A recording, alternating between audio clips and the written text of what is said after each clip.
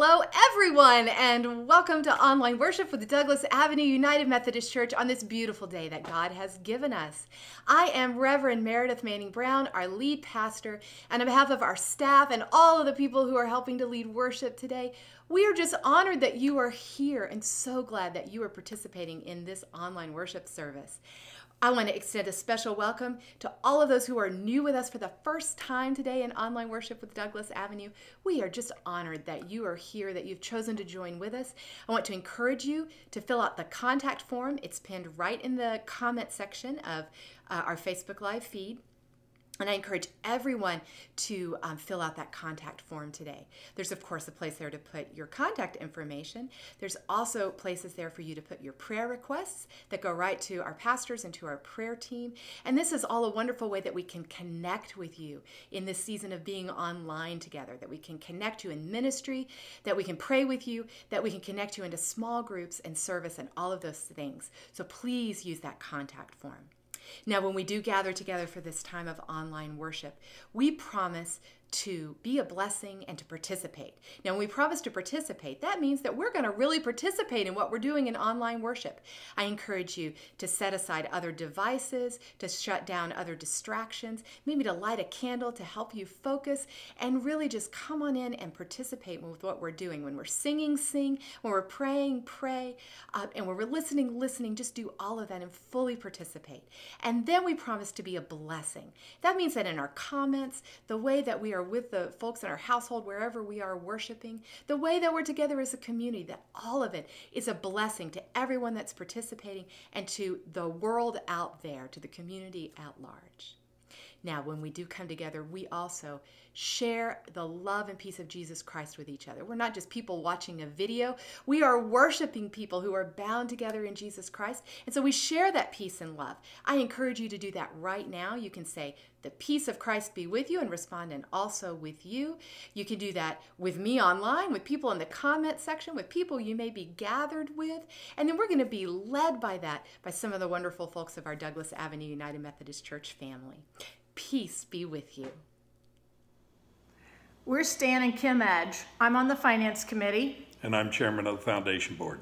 Peace, Peace be, be, with, with you. you. And also with you. Also with you.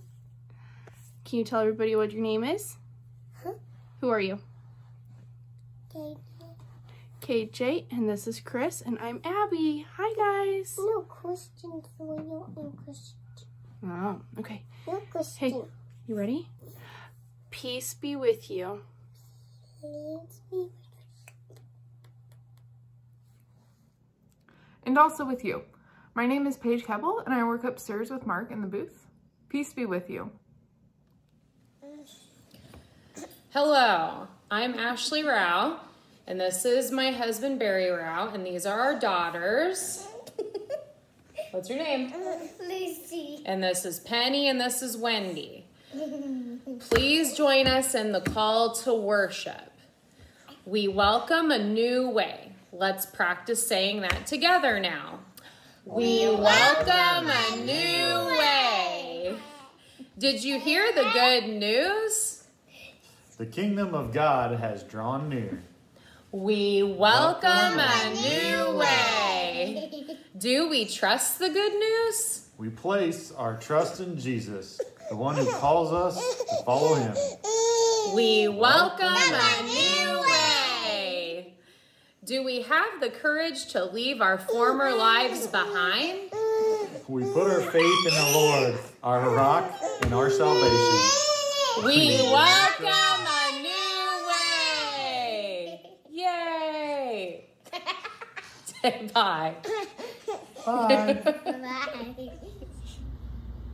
Good morning. I'm Nancy Vereen. Would you join me with Lord of the Dance?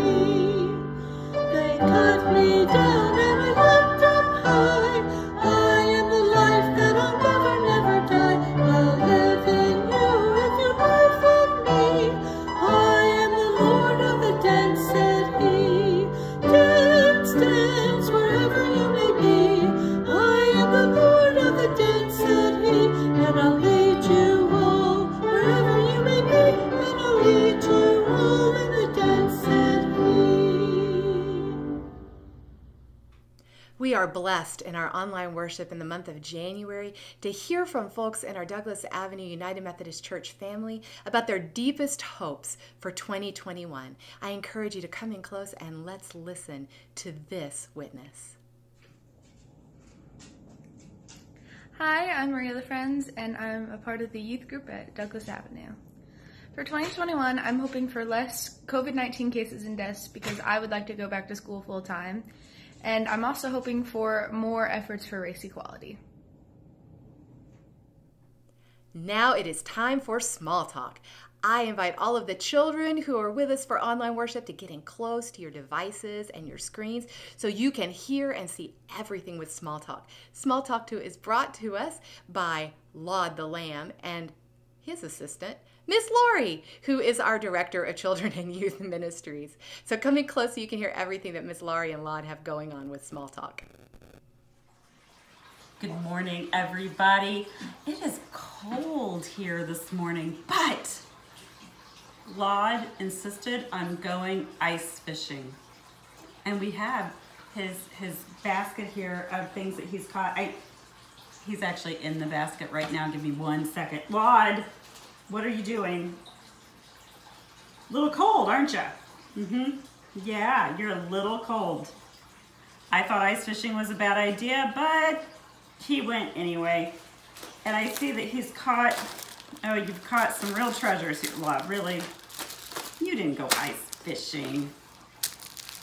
You went like house fishing around the house. We have, you know, our, our, he found Nemo. Found him. And we have more goldfish, of course, and more goldfish and goldfish, goldfish, and but he does have this really cool big net, which I bet reminded him of the story, right? Of Jesus and the disciples fishing? Yeah? Mm-hmm. It did. It reminded him of that. And this is where, in the Bible, Jesus starts convincing his disciples to follow him. Yes, they follow him to spread the word of God and his love and his forgiveness. And so that's why sometimes we call those disciples the fishers of men. You're not really fishing for, you know, people. That'd be really wrong, right? There's nobody walking around with like a hook stuck in their, yeah, no. But they were fishing, not just for fish, with their nets, but fishing to have people follow. So keep that in mind. I wouldn't go fishing right now for real fishing because, well, our Sea of Sherman out here is frozen. But there's geese sitting on it. You could fish for geese. No, bad idea. Have a great Sunday, everybody, and follow Jesus. Bye. Good morning. I'm Keith Schnepp. I'm presently chairman of the Board of Trustees and a longtime member at Douglas Church. Our first reading this morning is from Psalm 62, verses 5 through 8. Let us open our hearts to the reading. Find rest, O my soul, in God alone. My hope comes from him. He alone is my rock and my salvation. He is my fortress. I will not be shaken. My salvation and my honor depend on God.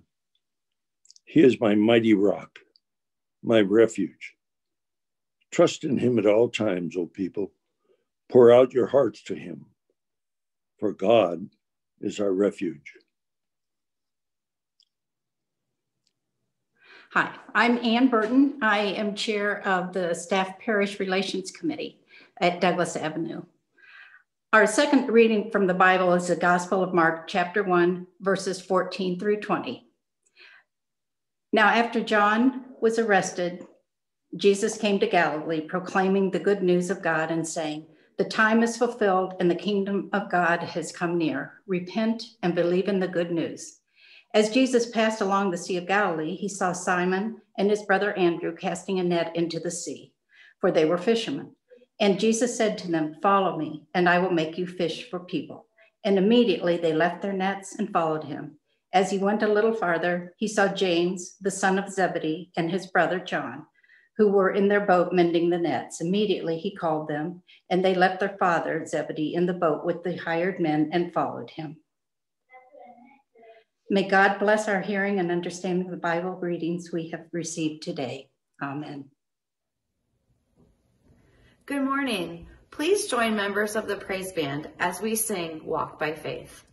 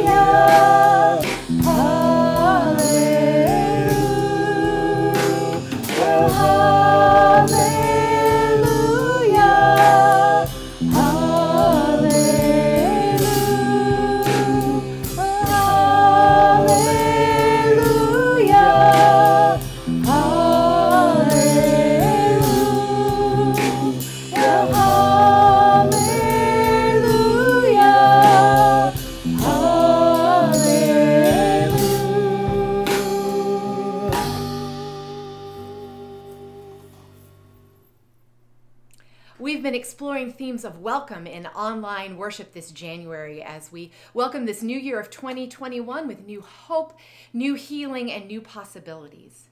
We dove in with the welcome of God as each and every person is a beloved child of God, and how this is expressed so ultimately and powerfully in the waters of baptism. Last week, we welcomed the power of honesty in invitation, relationships, and acceptance of ourselves, others, and the realities of the social conditions that too often divide us. Today, we're considering what it is in this new year to welcome a new way. I think the phrase a new way resonates deeply with our Christian faith. One of the earliest descriptions of people who love and follow Jesus the Christ is that of people of the way. Further, that way is about a way of living, being and acting in the world, in our speech, in inward spiritual practice, in outward spiritual practice, in relationship with others, and in our individual and communal action in the world. So, what can this new way be for us in 2021? We're certainly looking forward to a new way of being with COVID 19, with vaccination distribution rolling out, with people renewing their resolve to care for one another through mask wearing and social distancing, with the hope for being in person in community more, and for healing of people's bodies, healing of the community, healing of our nation, healing of the world, all of it not to play upon tropes for the beginning of a new year, but this new way can certainly be new resolutions for a new year, right? Like practices of health and wholeness, eating healthily, exercising, checking into rehab, getting serious about recovery, participating in and following the 12 steps, following those de stressing guidelines your doctor has been hounding you about for years, or tending to long overdue health concerns with blood pressure or blood sugar or heart palpitations. Maybe your New Year, New Way practices are about spiritual engagements in prayer and study and small group participation and regular worship participation online. Maybe your New Year, New Way practices are about a new way of putting your faith into public action, giving financially, giving time in a new way in service, stepping into a new community engagement, or working in solidarity and allyship with people who are not like you. Maybe those New Year, New Way practices look like complaining less and laughing more spending less and giving more, being inside less and being outside more, working less and bike riding more, falling into depression less and rising up in joy more. I can go on. All of these new ways are awesome, and whatever it is you've been considering, I encourage you to not give up. I can, uh, even if I can hear some of you saying, like, oh, Pastor Meredith, it's January 24th, and I've already failed at this. Look, it's only January 24th and you have not failed. Just keep going or get going or try again. And I say, whatever you do, don't go it alone. That's why you have church family. That's why we work together to be able to be connected in so many ways. It's why we have small group for study and encouragement and prayer and people who are praying for you and with you already. Listen, there is too much love and support and goodness in your corner to already give up. Wherever you are and whenever you are joining in with this time of worship, just go ahead and say amen with me about this. Amen. Today, I also encourage us to open up ourselves to what may be a new way of listening to, learning from, and being transformed by the work of the Holy Spirit in engaging our Bible stories. It is important important to dig in, ask questions, and pay attention to what is actually in our Bible, what is not there, and what is missing to us when we don't look into the historical, social, and political realities of the time our Bible stories were written, as well as paying attention to our own realities. This is how the Holy Spirit works on us and in us. Why it is our scriptures are continually a source of learning, inspiration, and a new way of living and acting in our world. But I also believe this kind of new way comes with a warning. The danger in doing this is that we may find ourselves particularly challenged in our comfort, in the status quo, and find ourselves propelled forward in a new way as people who love and follow Jesus and his radical proclamation of the coming kingdom of God like in today's reading from the Gospel of Mark that Ann shared with us. This passage and its parallel passages in Matthew, Luke, and John are very familiar to many of us, with Jesus calling his first disciples. The Gospel of Mark is our first written down gospel now, sometime around 70 of the Common Era. And it was likely intended to be read or recited or performed out loud in its entirety. So the Gospel of Mark moves quickly, and you very often hear phrases like, and immediately Jesus jumped up and did this, or said this. Immediately Jesus went here, or immediately went there. It's a fast moving 16 chapters. There's no birth story. It just opens with John the Baptist preaching in the wilderness, Jesus showing up, being baptized and tested. And by verse 14 of the very first chapter, Jesus is calling his first disciples, which is our gospel reading for today. I'm going to admit, I'm unsettled by the rapid answer of those first disciples Peter, Andrew, James, and John. Jesus says, Follow me, and I will make you fish for people. And up they hop and they go right away. They leave their fishing nets, their livelihoods, their family, and they follow Jesus right then and there. I think I would have been like, What? How? Why? Where are we going? Fish for people? I think I would have wanted at least an outline of a plan and a chance to pack a bag or at least grab my water bottle and a snack, even if we weren't going to travel very far away from home. For me, feelings of dis-ease and discomfort are good signs that I need to take a deeper look into the text, into the setting, into the what is going on here. I also think that being too comfortable with a Bible story is another good sign to take a deeper look into the text, but that will have to wait for another time. For today, I went digging around in the socio-history and particularities of life in the early first century around the Sea of Galilee and fishing. Because fishing is a major theme for Jesus and the early Christians. New Testament scholar, educator, and activist Ched Myers has done seminal work with the Gospel of Mark in this area, most known in his acclaimed text, Binding the Strong Man, a political reading of the Gospel of Mark and more recent writing on the socio political setting of the Gospel of Mark as well. Now, I want you to go with me here as I do my best to summarize as we seek a new way of hearing and understanding this familiar story. Now, the Sea of Galilee is the setting for the first half of Mark's Gospel, and its primary economy is fishing during the time that Jesus and his first called disciples were growing up, Herod Antipas ruled the area around Galilee. He was placed there by the emperor of Rome, Caesar Augustus. When Augustus died and Tiberius became emperor, Herod Antipas came up with a great plan to solidify his power and the standing of his house, the Herodians. We hear about them at various times throughout the gospel stories. Herod built a new capital city called Tiberias, wisely named for the new emperor. Herod built this new capital city on the shores of the Sea of Galilee to be a completely, thoroughly Romanized administrative and military center deep in the heart of Judea.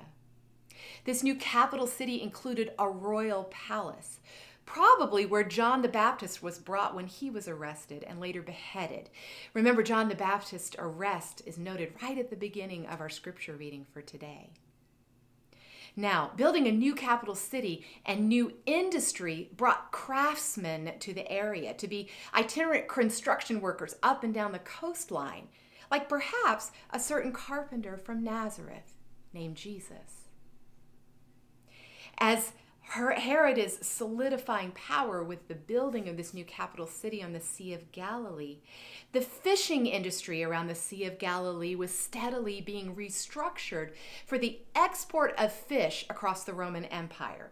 As in, the family fishing business that both fed the family and earned a living was transformed so that the majority of fish were salt preserved or made into fish sauce that could be much more easily shipped. Now, for the Herodians and their political allies, this meant they could control the fishing leases, expensive fishing leases, and the taxing of the fish product, its processing, and the transportation of it.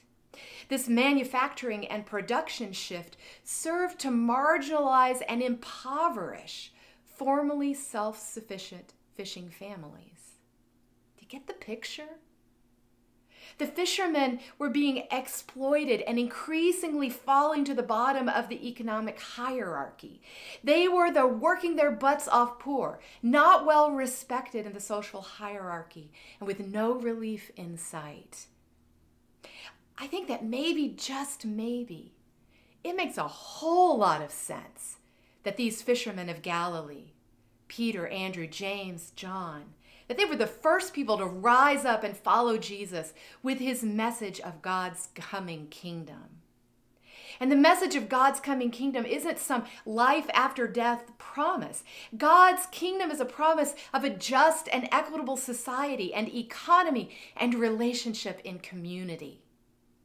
So, say yes to an offer to come fish for people for God's kingdom? You bet. That sure sounds like a better way to be about what the law and prophets had been proclaiming. Sure better than plying my hard honed craft of fishing for Herod and the Roman Empire, and thus continuing to participate in the economy that is crushing my family and the poor and the disenfranchised in my community. That helps a little bit, doesn't it? Why would Peter, Andrew, James, and John rise up, leave their nets and family to follow Jesus and fish for people? Jesus is calling up the poor and marginalized to be about this new movement of love and justice for all people, to rise up and be about the kingdom of God coming near. This may be a new way of hearing and understanding this fast paced story of calling disciples to fish for people. And it's a far cry from saving souls for an afterlife that this phrase has too often been commandeered to be about. Jesus invited those fishermen to rise up and follow him, and they did. They spend the next three years learning from Jesus, focusing their lives on his mission of love and justice, of healing and feeding, of questioning and praying, of sacrificial giving. And in their following of Jesus, Jesus shows them how to fish for people, how to be sacrificial leaders. It is these followers of Jesus who become the leaders of the Christians who share the love, mercy, feeding, healing, justice, and grace of Jesus throughout the world, followers of the way. I pray that this quick look at some of the socio political economic history of the Sea of Galilee helps you in your understanding. But you may be finding it a bit unsettling maybe in a new way. Jesus' call to the disciples, to us, is to follow him and be about the kingdom of God, not the kingdom of political power brokers, or the kingdom of fear, or the kingdom of lies, or the kingdom of wealth and prestige, or the kingdom of destructive economy. No, the kingdom of God. For many of us who are comfortable, who benefit from the white supremacy and systemic racism of our economics, politics, and social systems, this should make us unsettled, stop us, and cause us to ask questions. What does it mean for me to rise up and follow Jesus? What are we being called to leave behind us? What economic or social systems will we need to challenge? And how will that challenge erode our own safety, security, or privilege? For those of us at the edges and margins of social and economic power, we will also need to rise up and follow Jesus on the way. What fears and worries do we need to put aside?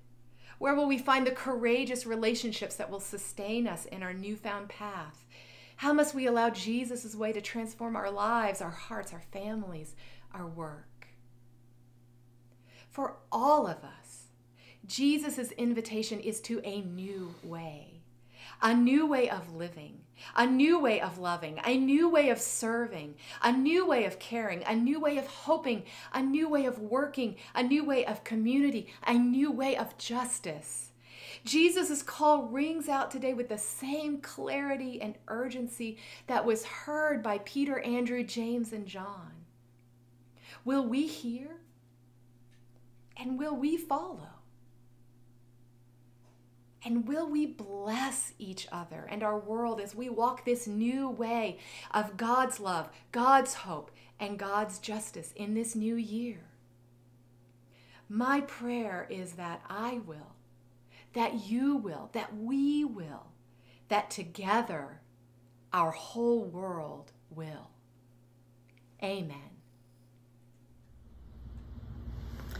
Join us for singing, Lord, You Have Come to the Lake Shore.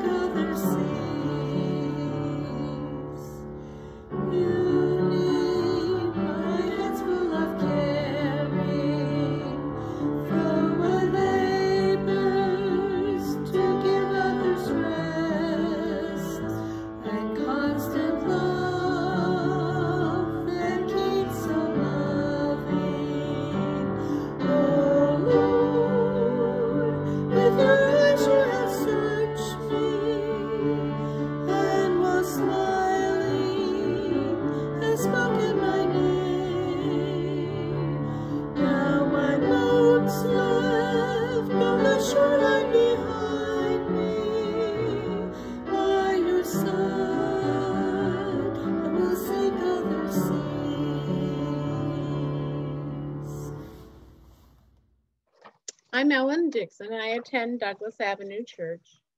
And I'm come to pray with you this morning. Thank you for joining me with me this time together.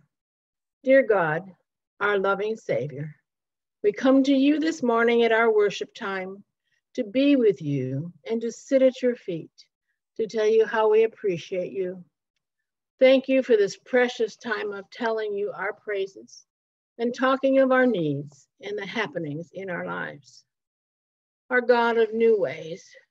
We thank you for the skills of this congregation of Douglas Avenue United Methodist Church to create these worship times, the small groups, and the ministries such as Compass for Kids. Wouldn't it be lovely, along with care for the community in the micro pantry and providing meals to the warming center? Thank you for the prayer team of this church. We ask that you give insight to these members of the prayer team as they pray for the requests given by the congregation and those in the community. They're done during the worship online, and however these prayers are gotten to the church, they are put onto the prayer list. We pause to ask for encouragement for people who give support to people in medical situations, people who give encouragement in being friends, people who give encouragement by listening to those they see and talk with, those who service at stores. They may deliver meals or groceries, protect us in the community, or teach our kids. Father, thank you for technology that allows us to see people who care we care about on Zoom or FaceTime, or learn information that helps us or educates us or keeps us alert to what we need. Thank you for a safe inauguration. We are excited to see young people like Amanda Gorman, the junior poet laureate who performed her wonderful poem at the inauguration. To see her showcase her skills is exciting. We are also grateful for a country that works for the betterment of its citizens. This morning, we lift up Donald Trump and his family to your care. We lift up Joe Biden and his family to your care. Also Kamala Harris and her family, Mike Pence and his family, As these leaders transition, may they listen to you and ask for assistance to move on. We also want to give uh, attention to Chris Welch, our new Speaker of the House in Illinois. Please help us work for peace and care for all who live and work in the United States of America. May care be given to them all. Help us as we pray for those around us in their particular situations. May we show God's love and extend God's grace. May we give courage to the people who have medical happenings in their lives, such as cancers, surgeries, and illnesses. Help them in pain and maybe loneliness. Decisions in these times can be challenging. Please hold their hands and their hearts during these times. Thank you for new babies that bring excitement and new hope. And then there are new jobs, new happenings around schooling, whether they're doing hybrid learning or starting homeschooling or any changes in this learning pattern. Some I know are on college campuses for the first time. Please walk with them all. May they feel and know your presence. My God, we give you our energy levels. Sometimes we're just weary of thinking and planning. I do thank you that there are so many things and ways of getting our needs met, but it can drain our energy and sap our strength by your grace. May we see how you are helping us, helping us endure. Great God of love, you are supplying our needs, and we lift our hands up in great cheer to you. Our sufficiency and our lover of our personhood is who you are. Hooray for you, our marvelous God, and the lifter of our heads. Thanks for letting us come and be here with you, for being close to you, being at your feet, and feeling your loving hand on our shoulders. Fill our hearts as we leave this prayer time with you, our supreme caregiver. Amen. And now may we join together in the Lord's Prayer. Our Father who art in heaven, hallowed be thy name. Thy kingdom come, thy will be done on earth as it is in heaven. Give us this day our daily bread, and forgive us our trespasses as we forgive those who trespass against us. And lead us not into temptation, but deliver us from evil. For thine is the kingdom, and the power, and the glory forever. Amen. Thank you. It is my privilege and honor to invite you into our spiritual practice of generosity. Your financial gifts make a world of difference at Douglas Avenue United Methodist Church in their support of all of the ministries that we do online, the things, uh, the ways that we're able to be in service to our community and to our world. It all goes to work, and we are so grateful for the way that you generously give. You can give to Douglas Avenue United Methodist Church using our online giving portal. That link is available right in the comments section. It's also available through our webpage. You can uh, give through your financial institution, setting up automatic payments, or set those up with our financial institution. Just let us know in the church office if you need assistance with that. And then, of course, you can send in your checks right to the Douglas Avenue United Methodist Church office. I encourage you, if not already done so, again, to fill out that contact form as a way to give yourself right now into the ministries of our church so that we can connect with you and pray with you. And then I want to encourage you to give some special attention right now to our video witness. We have a special uh, moment and a follow up with a mission that we've been doing with Du Bois Elementary School, our local elementary school, as they began a new semester with some in person hybrid learning. So come in close and watch this video mission moment. Welcome to the Douglas Avenue United Methodist Church Mission Moment for Sunday, January 24th, 2021. For many years, the members of DAUMC and the students and teachers at nearby Du Bois Elementary School have been partners in education. In 2020, the coronavirus pandemic forced students at Du Bois and across the nation into a virtual learning situation. To meet the challenge, members of Douglas Avenue stepped up donating the necessary funds to purchase many headsets, so that the students at Du Bois Elementary School could have effective learning at home. But now it's a new year, and with the easing of restrictions, students at Du Bois are beginning to return to the classroom. Because of your generous donations, money still remained in the Du Bois Contingency Fund, so we asked Principal Dan Ford how DAUMC could help.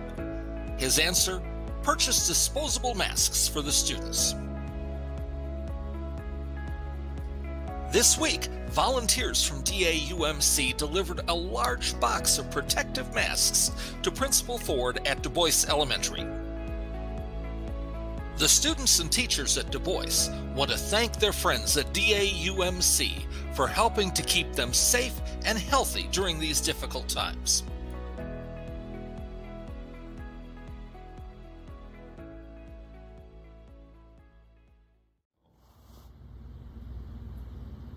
Join us in our final hymn today, Jesus Calls Us.